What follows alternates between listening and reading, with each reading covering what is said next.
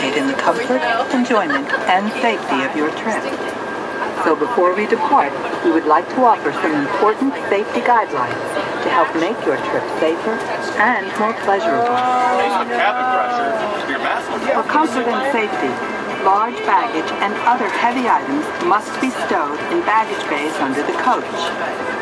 Avoid carrying packages on the steps that can block your view or make it difficult for you to use the handrails.